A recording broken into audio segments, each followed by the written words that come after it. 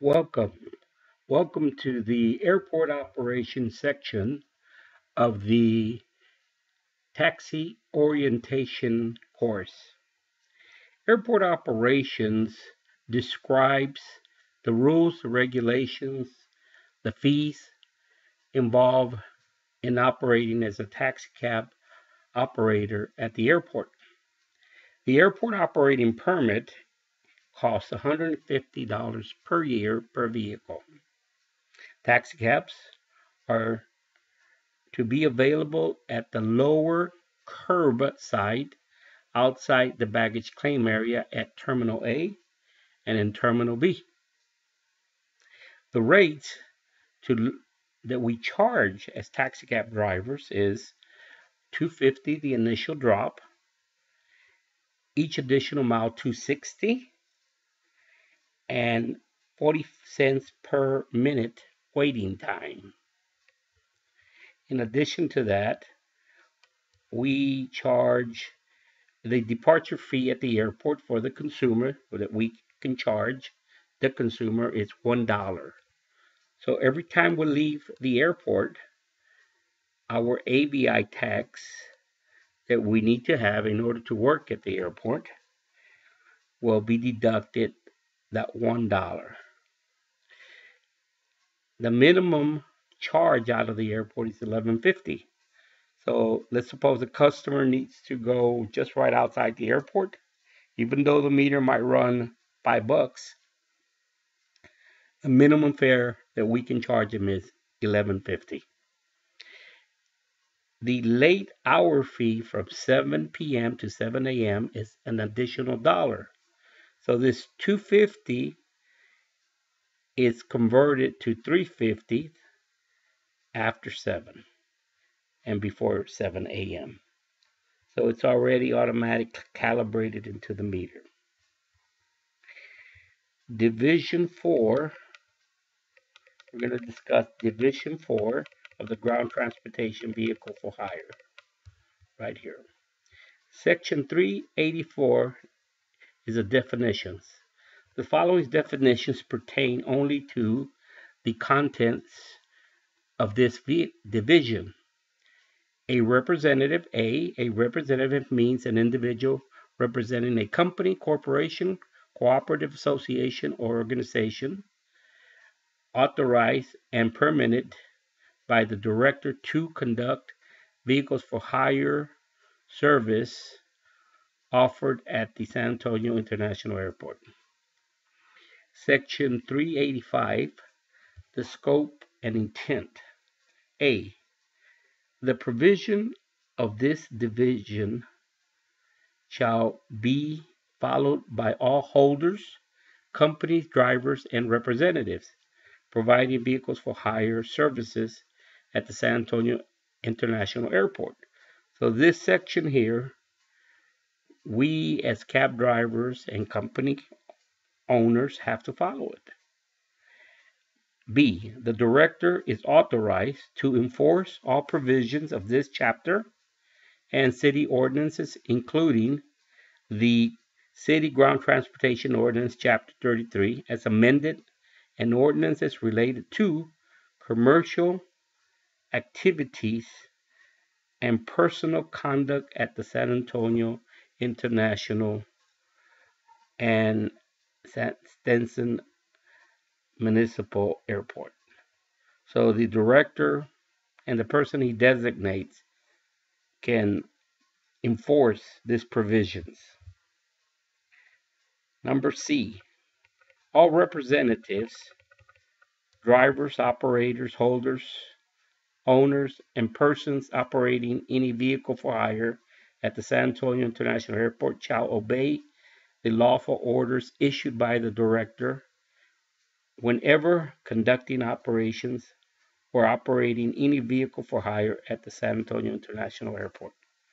So, as operators, drivers, we need to uh, follow their directions, their lawful directions, orders that they issue to us.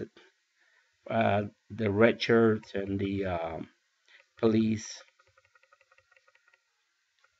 Section 86 Ground Transportation Fees.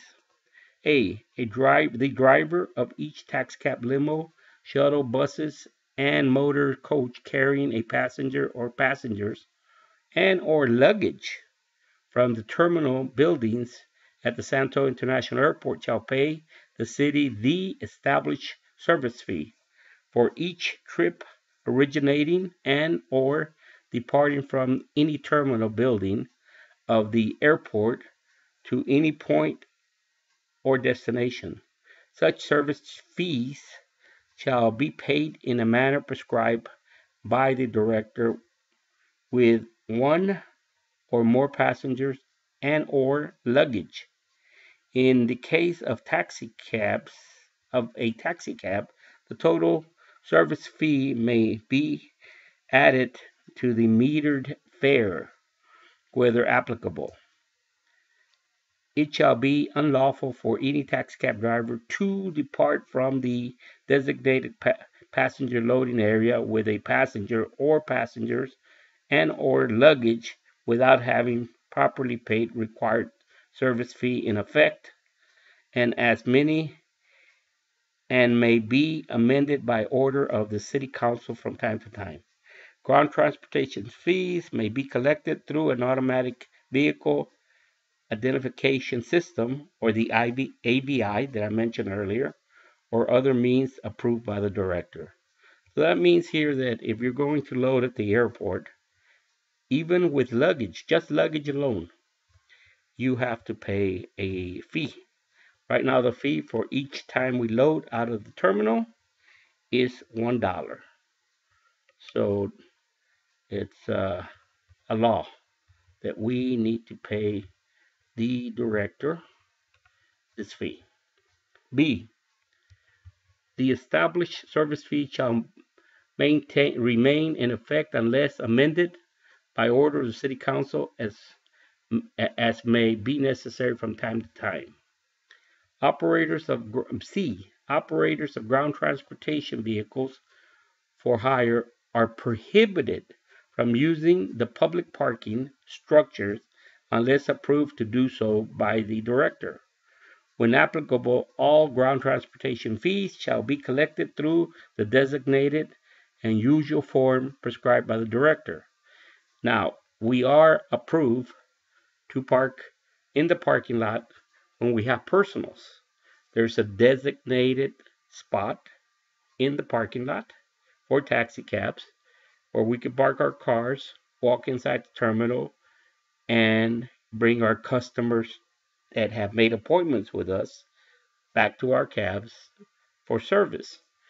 The way we pay is the clerk as we exit the parking lot, we'll take down our cap number and deduct the fee from our AVI tag manually as of November of 2013.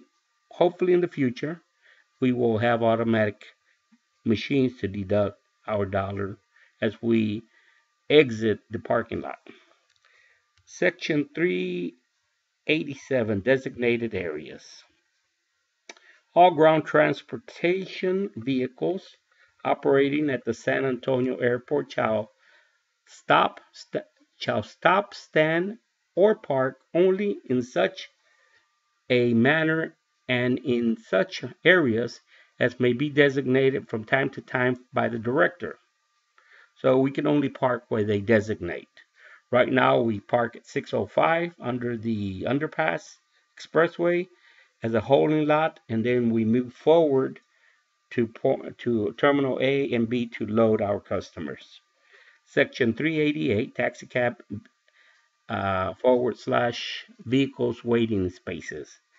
The A, the driver of a taxi cab awaiting fares at the terminals shall stop, stand, or park in strict conform, conformity to the lines delineated the applicable waiting areas.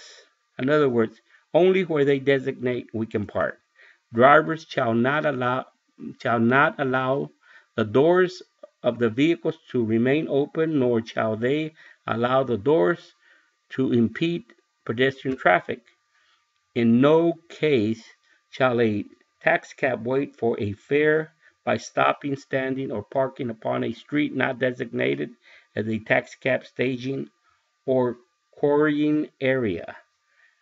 In other words, park where you're supposed to. If you unload upstairs, uh, you're not supposed to pick up a passenger upstairs. The number of taxicabs waiting to pick up passengers at the terminal building at the San Antonio International Airport shall be limited by the amount of available designated staging or quarrying areas as the, designated by the director. The allocation of space available for quarrying, staging, and loading of taxicabs shall be determined by the director. However, this allocation allocated space may be altered by the director from time to time based on the amount of available curb space and other requirements. So again, the director can decide how many, how large of a cap stand we have, how much of a proper operation. That's section 389. Excess or prolonged use of horn sirens, whistles, or other noise generating devices by operators, holders, uh, owners, and drivers of any vehicle for hire is strictly prohibited, and continued use shall subject the operator, holder, owner, company, and or driver to citation and or removal of vehicle from the airport.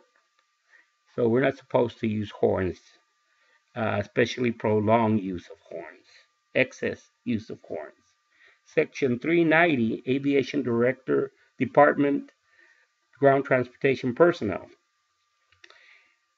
Aviation Director, Ground Transportation Personnel will be assigned an area or areas designated by the Director for the purpose of answering questions and providing information to patrons using ground transportation at the airport. No driver, company owner, manager, or representative of any ground transportation association or company shall interfere with the duties of the aviation department ground transportation personnel.